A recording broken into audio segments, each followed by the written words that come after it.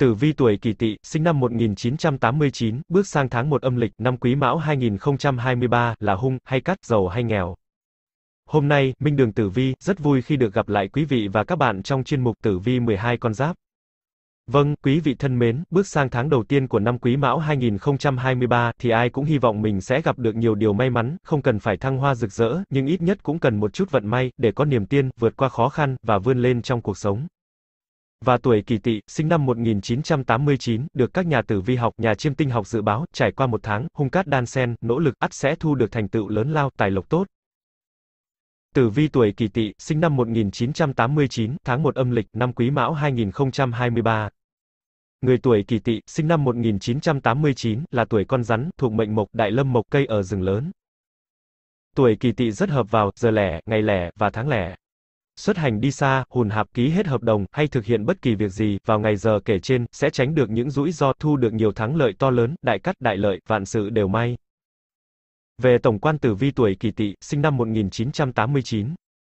Cuộc sống của tuổi Kỷ Tỵ nhìn chung khá tốt đẹp, lúc trẻ ít nhận được tình cảm của gia đình, tuy nhiên họ lại có rất nhiều các mối quan hệ tốt đẹp trong xã hội, trong tình cảm, hôn nhân gia đình thuận lợi, cuộc sống không có nhiều điều phải lo lắng. Bước sang tuổi trung niên, vận số bắt đầu tới, công việc làm ăn ổn định và có xu hướng phát triển, sau sinh con, cuộc sống gia đình được cải thiện và có nhiều niềm vui. Về già, kỳ tỵ hạnh phúc bên người thân, con cháu, cuộc sống an nhàn, không phải lo lắng nhiều. Xem tử vi tuổi kỳ tỵ thấy rằng, lúc trẻ phải trải qua nhiều sóng gió, gian nan, mới có được hạnh phúc của riêng mình, sau kết hôn cuộc sống tuy còn vất vả, nhưng cũng dần được cải thiện, sự nghiệp bắt đầu phát triển mạnh vào giai đoạn trung niên, về già có vận tài lộc. Tuổi kỳ tỵ hưởng thọ trung bình từ 80 đến 90 tuổi, nếu hành thiện tích đức, sống có tâm, thì sẽ được gia tăng niên kỷ. Sau đây là phần luận giải tử vi chi tiết cho tuổi kỳ tỵ, sinh năm 1989, trong tháng 1 âm lịch, năm Quý Mão 2023. Trên bốn phương diện chính của cuộc sống, gồm sự nghiệp, tài vận, tình duyên, sức khỏe. Mời quý vị cùng theo dõi. Về mặt sự nghiệp, Tử vi tuổi Kỷ Tỵ, sinh năm 1989, trong tháng đầu tiên của năm Quý Mão, công việc tiến triển chậm, không quá dồn dập, theo đó hiệu suất cũng không cao, đã vậy tháng riêng là tháng ăn chơi, nhiều hội hè, đình đám, khiến dễ bị phân tâm, sao nhãng, quá trình làm việc có thể phát sinh sai lầm, làm giảm uy tín. Đầu tháng nghỉ lễ Tết nhiều, nên hầu như công việc không phát sinh áp lực, từ giữa tháng trở đi vận khí càng có xu hướng giảm, bản mệnh có thể phải đối mặt với không ít trở lực, thách thức, đòi hỏi bạn phải hết sức tỉnh táo, tập trung tinh thần cao độ, mới không lo mắc lỗi. Dù không được nguyệt lệnh ủng hộ, nhưng may mắn, tháng này những chú rắn lại có thiên đức và thiên vũ xuất hiện, các cát tinh này cùng chiếu, chủ về sinh trưởng, thăng tiến, tốt cho cầu danh lợi, phát triển sự nghiệp, những ai nỗ lực hết mình, không ngừng phấn đấu, vẫn có thể gặt hái thành quả như ý. Mùa xuân, âm tiêu dương trưởng, vận khí đang đà đi lên, động có lợi hơn tĩnh, triển khai việc quan trọng hay bắt đầu một dự án mới vào thời điểm này là thích hợp, vạn sự khởi đầu nan, trước mắt trở lực nhiều, vượt qua được thì không gì là không thể. Xem phi tinh tháng có tứ lục và bát bạch đồng cung ở Đông Nam, đây được coi là phương vị cát lợi, tốt cho học hành, thi cử, và cầu tiến công danh, phát triển sự nghiệp. Bài trí phong thủy hợp lý, sẽ giúp cho tuổi kỳ tỵ, sinh năm 1989, tư duy nhanh nhạy, dễ dàng nắm bắt thời cơ, để gặt hái thành công, bản mệnh có thể bài trí biểu tượng, long quy phong thủy, tức rùa đầu rồng, tại hướng đông nam của phòng khách, phòng làm việc. Với sự trợ giúp của vật phẩm phong thủy này, các khí của cả tứ lục và bát bạch đều được phát huy, thúc đẩy vận khí vượng, công danh, sự nghiệp càng thêm suôn sẻ. Về mặt tài vận, bước sang tháng đầu tiên của năm Quý Mão, về mặt tài vận của người tuổi Kỷ Tỵ, sinh năm 1989, không phải suy tư quá nhiều. Kỷ Tỵ có tài lộc khá sáng trong tháng này, tiền hết lại làm ra, người làm ra tiền cơ mà, nên hãy cứ lạc quan, vui sống, các khoản chi tiêu tháng này khá nhiều, nhưng tuổi Kỷ Tỵ, sinh năm 1989, đã có dự trù từ trước, mọi thứ vẫn hài hòa, tốt đẹp và nằm trong tầm kiểm soát. Việc kiếm tiền tuy không khó, nhưng tài lộc tụ lại không được là bao, có bao nhiêu tiêu hết bấy nhiêu, khó tích lũy, bản mệnh cần học cách chi tiêu khoa học hơn, có như vậy mới mong tích lũy, hoàn dư thừa dùng cho tương lai lâu dài. Có thể chia nhỏ số tiền kiếm được tích vào các hộp khác nhau, phân rõ mục đích sử dụng và mục tiêu tích lũy, nếu thấy làm một mình khó khăn, có thể nhờ tới sự giúp đỡ, chia sẻ của người thân hoặc nửa kia.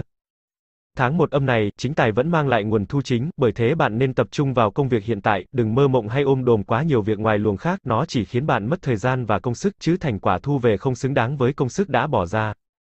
Về thứ tài không có dấu hiệu khởi sắc, đầu năm hội hè đình đám nhiều, tuổi kỳ tỵ, sinh năm 1989, nên hạn chế tham gia các trò, may rủi, đỏ đen, kẻo tiền mất tật mang, các hạng mục đầu tư chưa sôi động, khả năng sinh lời thấp, bạn nên xem xét lại tiềm năng của dự án, kế hoạch, để tính toán các bước tiếp theo, đề phòng trường hợp thua lỗ. Về mặt tình cảm, Sang tháng 1 âm lịch 2023 này, phương diện tình cảm của tuổi Kỷ Tỵ, sinh năm 1989, lại không lý tưởng, xuất hiện tình trạng bằng mặt chứ không bằng lòng, bên ngoài có vẻ hài hòa, nhưng bên trong lại ẩn chứa nhiều mâu thuẫn, xung đột, bản mệnh nên nhớ, giải quyết vấn đề cần xuất phát từ căn nguyên, khởi phát và rất cần cái tâm chân thành, hời hợt sẽ chỉ khiến khoảng cách giữa bạn và người thân càng lớn. Theo đó, dù bận rộn tới đâu, bạn hãy sắp xếp thời gian để tìm hiểu và xử lý vấn đề này trước. Ra đào an vui thì mới có tinh thần phấn đấu cho công việc, sự nghiệp. Người độc thân đào hoa khởi vượng, tin vui đến với những ai còn chăn đơn gối chiếc, tháng này vận đào hoa hòa với vận khí mùa xuân, khởi phát mạnh mẽ, đi đâu, làm gì, nhân duyên tuổi kỷ tỵ, sinh năm 1989, đều tốt, thậm chí bản mệnh có thể gặp ý trung nhân, ngay trong dịp đi du xuân năm mới. Xem phi tinh tháng. Tháng 1 âm lịch có, nhất bạch đào hoa gặp ngũ hoàng hung tinh ở phương Bắc. Nhưng bát vận ngũ hoàng là đại hung tinh, có sức mạnh tàn phá cực lớn, khiến các tính của nhất bạch khó mà phát huy đào hoa lành, biến thành đào hoa dữ, gây phiền phức trong các mối quan hệ tình cảm, gia đình. Để có thể làm giảm đặc tính của ngũ hoàng tuổi kỳ tỵ, sinh năm 1989, nên bài trí một số đồ vật bằng kim loại ở hướng bắc ngôi nhà, hoặc phòng ngủ, tính kim của kim loại khiến ngũ hoàng sinh xuất thổ sinh kim, từ đó suy yếu, mức độ ảnh hưởng bị thu hẹp. Ngoài ra, cách đơn giản hơn bản mệnh có thể đặt một cốc nước lọc tại phương vị đó, một tuần thay nước một lần, cách làm này giúp nhất bạch có thể phát huy tác dụng thúc vượng đào hoa, tăng thêm cát lợi cho nhân duyên, gắn kết tình thân, gia đình. Về mặt sức khỏe, về phương diện sức khỏe của tuổi Kỷ Tỵ, sinh năm 1989, trong tháng 1 năm 2023 âm lịch này bị giảm sút nghiêm trọng, rất cần phải đặc biệt lưu ý, thời gian này hội hè, đình đám, nhiều tiệc tùng liên miên, ăn uống vô độ, khiến cơ thể dễ bị tăng cân, mệt mỏi. Bạn cần sớm điều chỉnh lại chế độ dinh dưỡng, thời gian nghỉ ngơi, cũng như thói quen vận động, luyện tập thể dục, thể thao, tránh để lệch đồng hồ sinh học khiến sức khỏe ngày càng sa sút. Tháng riêng chính là tháng phát dương, vạn vật hồi sinh, dưới tiết trời mùa đông lạnh giá, cần phải giữ gìn để không làm thoát khí. Sách Đông y cũng nói, tháng riêng dễ bị bệnh thận, khí phế yếu ớt, cần giảm ăn mặn và ăn chua, tăng ăn vị cay để bổ thận và phế, không được để lạnh quá. Buổi sáng nên dậy sớm để thư giãn cả về cơ thể và tinh thần, rất tốt cho sức khỏe. Ngoài ra, tháng này tuổi Kỷ Tỵ, sinh năm 1989, chú ý đi lại cẩn thận, tránh tai nạn xe cộ, họa huyết quang, nhất là khi xuất hành đi xa, nên có người đi cùng để trợ giúp nếu có tình huống xấu xảy ra. Tiếp theo là luận giải vô cùng quan trọng cho tuổi Kỷ Tỵ, sinh năm 1989, khi bước sang tháng đầu tiên của năm Quý Mão. Gồm hai phần, phần thứ nhất đối với nam mệnh, phần thứ hai đối với nữ mệnh tuổi Kỷ Tỵ. Phần thứ nhất, đối với nam mệnh tuổi Kỷ Tỵ, sinh năm 1989. Trong năm Quý Mão 2023, tuổi Kỷ Tỵ, nam mệnh cần phải đặc biệt chú ý đến hạn Diêm Vương và sao Thái Âm chiếu mệnh. Sự tác động của hạn Diêm Vương đối với tuổi Kỷ Tỵ, nam mạng trong năm 2023.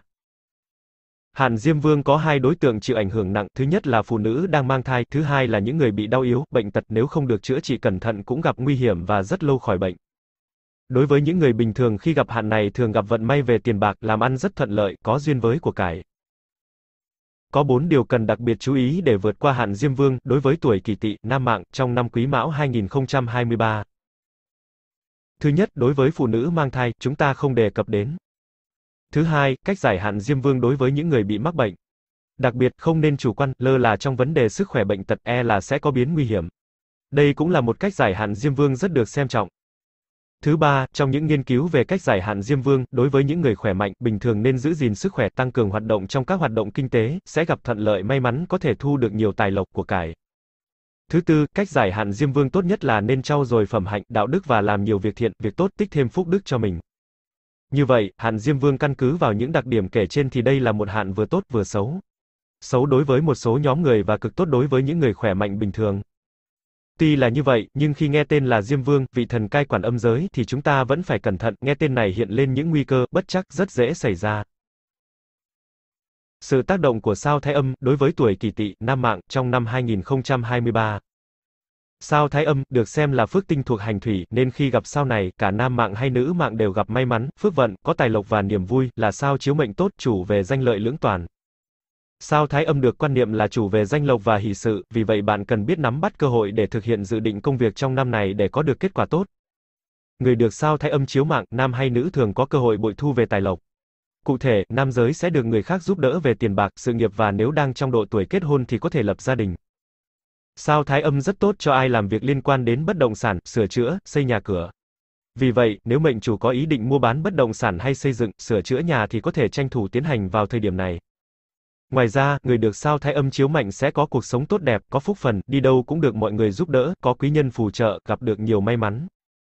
Theo các chuyên gia phong thủy, thời gian cúng giải hạn sao thái âm vào 22 giờ đến 24 giờ, ngày 26 âm lịch hàng tháng, tốt nhất là ngày 26 tháng 1 âm lịch để cầu được nhiều tài lộc và giảm bớt các vận hạn.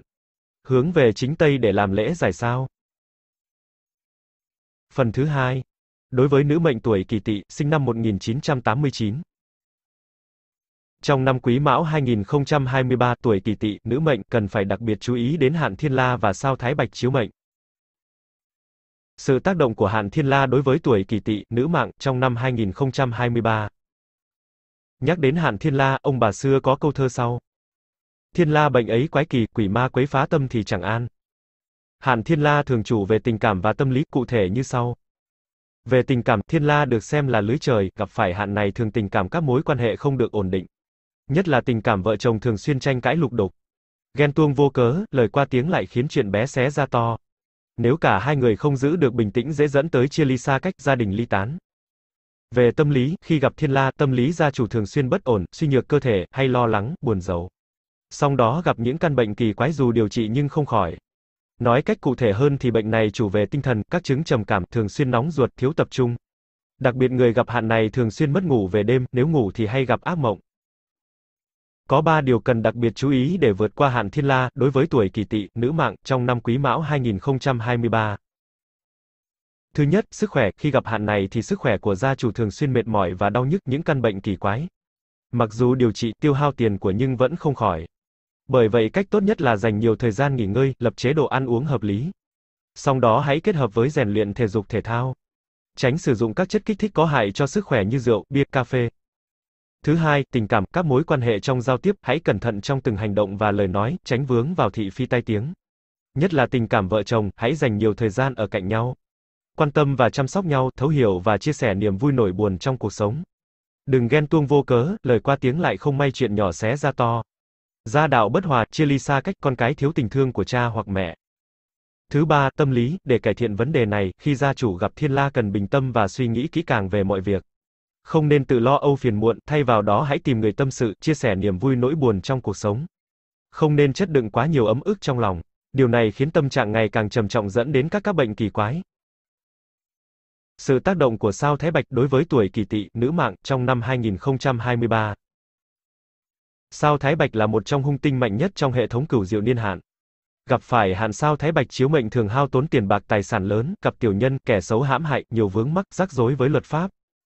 Cần kiên kỵ vì dễ mắc các bệnh về nội tạng. Ngoài ra, sau này thuộc hành kim nên các bệnh liên quan đến hô hấp, xương khớp, thương tích và tai nạn giao thông dễ xảy ra. Người bị sao thái bạch chiếu mạng trong năm sẽ hao tốn nhiều tiền của ốm đau, công việc làm ăn lận đận, thậm chí còn ảnh hưởng đến cả tính mạng. Người ăn ở mất âm đức khi gặp sao thái bạch còn bị họa lớn hơn bởi kim tinh là hung tinh chủ về hung vận. Kim tinh còn được gọi là triều dương tinh, ánh trăng bị che mờ thì mưu sự khó thành, quý nhân kiến hỷ, thêm nhân khẩu, hôn nhân cưới gả đều có hạn, sử dụng tiền tài cần chú ý tiểu nhân. Người gặp sao thái bạch ví như ánh trăng xuyên qua đám mây vậy, nghĩa là vận trình rất tốt nhưng hay ưu phiền vì bị mây mù che phủ, ngay cả ánh trăng cũng bị che mờ nên cuộc sống u tối, thường xuyên gặp trở ngại, không phát huy được hết năng lực của bản thân. Trong khi đó người này lại có xu hướng khép kín nên mọi người xung quanh thấy khó lại gần.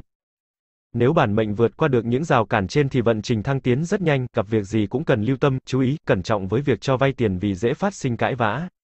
Khi cần xử lý những việc này thì phải thật khiêm tốn, nhún nhường sẽ có lợi hơn khuyên những người gặp hạn này nên tu thân thích đức, sống hiếu thảo với cha mẹ, kính trên nhường dưới, làm nhiều việc thiện, giúp đỡ người khó khăn cơ nhỡ, tật nguyện. Bên cạnh việc hóa giải vận hạn bằng cách tu dưỡng bản thân thì dưới góc độ tâm linh nhiều người làm lễ dâng sao giải hạn để mong muốn, hy vọng tạo nên sự an tâm, có niềm tin, lạc quan vui vẻ hơn trong cuộc sống, trước là bình an mạnh khỏe, sau là được hanh thông cát lợi. Theo các chuyên gia phong thủy, thời gian cúng giải hạn sao Thái Bạch vào 18 giờ đến 20 giờ ngày 15 âm lịch hàng tháng, tốt nhất là ngày 15 tháng 1 âm lịch hướng về chính Tây để làm lễ giải sao. Vâng, kính thưa quý vị trên đây là những chia sẻ rất tâm huyết đến từ ban biên tập chương trình về tử vi tháng 1 âm lịch năm Quý Mão 2023 cho người tuổi Kỷ Tỵ, sinh năm 1989. Minh Đường Tử Vi rất mong rằng quý vị sẽ đón nhận được nhiều may mắn trong tháng đầu tiên của năm mới và làm giàu cho bản thân mình, cho xã hội. Xin chân thành cảm ơn quý vị đã quan tâm và theo dõi chi tiết hết video của chúng tôi. Mọi ý kiến đóng góp và thông tin cần được tư vấn hỗ trợ, vui lòng comment ở bên dưới và bình luận. Ban biên tập chương trình sẽ tư vấn và giải đáp miễn phí trong thời gian sớm nhất. Xin kính chúc quý vị luôn mạnh khỏe, hạnh phúc, giàu có và thành công hơn nữa trong cuộc sống của mình. Xin chào và hẹn gặp lại.